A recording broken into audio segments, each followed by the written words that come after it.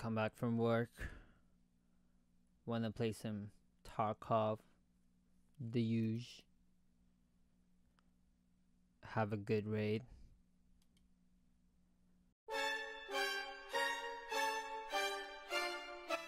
Oh my fucking god.